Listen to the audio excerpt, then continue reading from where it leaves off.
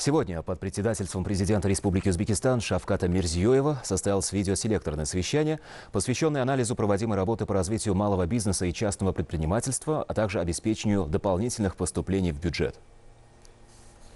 Возможности ведения малого бизнеса и частного предпринимательства последовательно улучшаются. Упрощены процедуры государственной регистрации предпринимательской деятельности, получения разрешений и государственных услуг. Постановлением главы государства от 13 августа текущего года при Министерстве экономики и промышленности организовано агентство по развитию малого бизнеса и предпринимательства. В результате принятых системных мер за минувшие 8 месяцев этого года создано 70 тысяч новых субъектов предпринимательства, что в два раза больше по сравнению с аналогичным периодом прошлого года. На совещании обсуждены актуальные задачи на перспективу.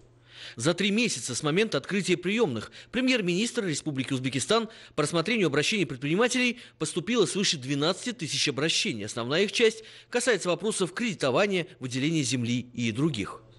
Наибольшее количество обращений подано в Ташкентской, Кашкадаринской, Андижанской и Самаркандской областях. Из них 9 тысяч или 75% решены на месте, в том числе 40% обращений непосредственно на районном уровне. Это свидетельствует о том, что прежде руководители нижнего звена совсем не занимались проблемами в сфере предпринимательства – в связи с этим премьер-министру поручено обеспечить решение обращений предпринимателей прежде всего там, где они были поданы, а также выявить проблемы республиканского уровня и принять меры к их устранению. На основе этой системы в Хавасте до конца года будут освоены инвестиции на почти 1 триллион суммов. Число субъектов малого бизнеса увеличится вдвое. Будут созданы 7,5 тысяч новых рабочих мест. Объемы экспорта увеличатся в 5 раз и достигнут 3 миллионов долларов. Первые результаты в Хавасте вновь подтверждают своевременность налаживания этой системы работы, направленной на ведение постоянного диалога с предпринимателями и потенциальными инвесторами, рассмотрение и решение их проблем, сказал глава государства. На совещании даны поручения по стимулированию организации новых субъектов предпринимательства, оказанию им всемирной поддержки. Рассмотрена проводимая работа в рамках механизма по восстановлению прекративших деятельность предприятий. Изучение показало, что 13 тысяч предпринимателей столкнулись с проблемами, связанными с получением земли, подключением к коммуникациям, оформлением лицензий и кадастровой документации.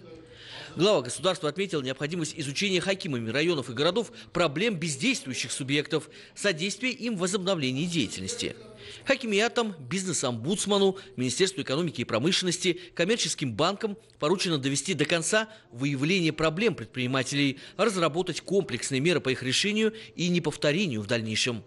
Поставлена задача разработать, запустить с 1 апреля следующего года электронные программы «Тадбуркор». Обсуждены вопросы обеспечения эффективной работы нововведенной системы по превращению коммерческих банков в бизнес-партнеров предпринимателей, содействию клиентам в решении любых проблем. Отмечалось, что ускорение ввода новых мощностей, профинансированных банками за последние два года, но все еще не начавших деятельность, является залогом возвращения кредитов. По 1200 таким проектам, выявленным в ходе изучения, проведена работа по завершению строительно-монтажных работ, установке оборудования, оформлению кадастровых документов, оказанию финансовой помощи. Хакимиатам указано, что они должны решить имеющиеся проблемы по оставшимся 559 проектам и обеспечить ввод новых объектов до 1 ноября этого года.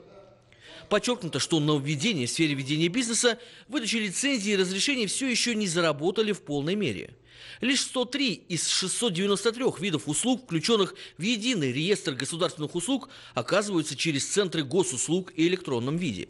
Это является одним из препятствий для лиц, желающих заниматься предпринимательством. В связи с этим указана на необходимость совершенствования системы оказания госуслуг в режиме онлайн, цифровизации всех государственных услуг. На совещании бизнес-омбудсману поручено внедрить совместно с заинтересованными ведомствами систему изучения и оценки соблюдения законодательства со стороны государственных органов, взаимодействующих с предпринимателями. Агентству по развитию малого бизнеса и предпринимательства поручено провести во всех регионах открытый диалог с предпринимателями и решить препятствующие их деятельности проблемы, возникающие на стороне государственных ведомств, организаций организаций коммунальной сферы и банков. Президент Республики Узбекистан Шавкат Мирзиёев отметил необходимость осуществления государством конкретной адресной работы по поддержке субъектов бизнеса. В ходе рассмотрения второго вопроса на повестке совещания состояние обеспечения поступлений в государственный бюджет отмечалось, что соответствующий прогноз за минувшие 8 месяцев выполнен на 107%. Обсуждены вопросы задействования резервов, увеличения поступлений расширения налогооблагаемой базы. Отмечена важность повышения собираемости фиксированного налога с индивидуальных социальных предпринимателей, легализации теневой занятости. Подвергнут критике тот факт, что по городу Ташкенту, Сурхандаринской и Наманганской областям имеются многомиллиардные невзысканные налоги, а руководители ряда районов и городов бездействуют и продолжают выполнять прогнозные показатели за счет крупных налогоплательщиков.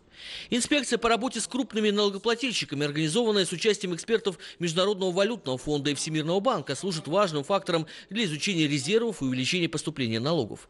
Отмечалось, что для дальнейшего повышения эффективности этой работы необходимо перевести крупных плательщиков налогов на электронные счета фактуры и интегрирование их к компьютерным программам бухгалтерского учета. Поручено оказать содействие около 30 тысячам фермерских хозяйств, переходящих с 1 октября текущего года на уплату налога на добавленную стоимость, внедрить соответствующее программное обеспечение во всех регионах.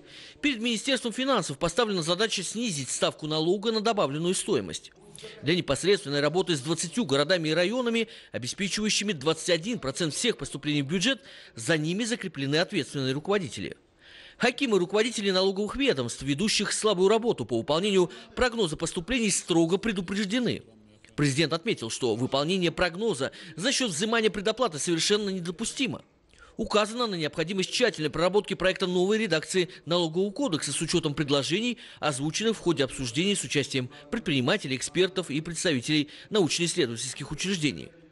По обсужденным на видеоселекторном совещании вопросам заслушаны отчеты и предложения ответственных руководителей и хакимов.